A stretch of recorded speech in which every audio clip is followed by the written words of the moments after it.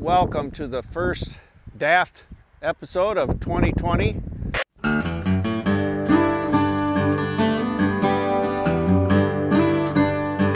Now our original intention was to floor you guys with this amazing crop of apples that we were setting this year.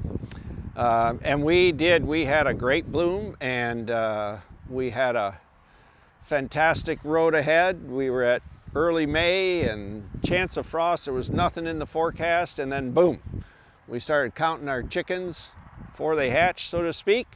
And uh, yeah, we ended up with a frost on May the 9th, which it did some damage on apples. Uh, not a not a knockout blow, but pretty good pretty good damage, especially on certain varieties. Gold Rush, the variety we're looking at here, didn't have near the damage. Uh, for partly, it just seemed like stuff.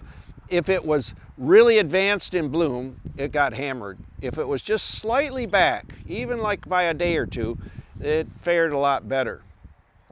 So right now, we're at the stage with most of the apples of what we would call petal fall. So all the petals have fallen off from the little fruitlets and you can see, I mean, if you just look at this, the center one is standing up, looking pretty proud.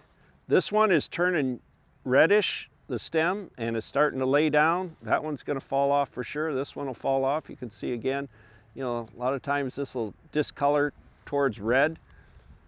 Don't know. I mean, there, there, if, if it was my guess, you know, you'd think that you could uh, expect this one to stay, but I wouldn't, I wouldn't count on any of these others out of that, out of that group there.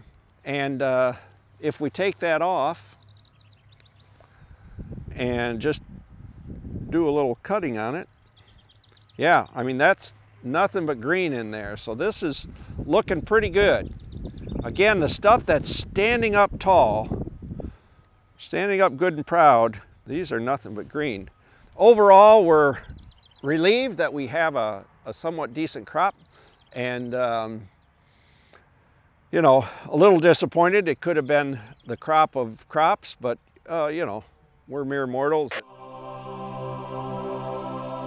We probably shouldn't expect that much.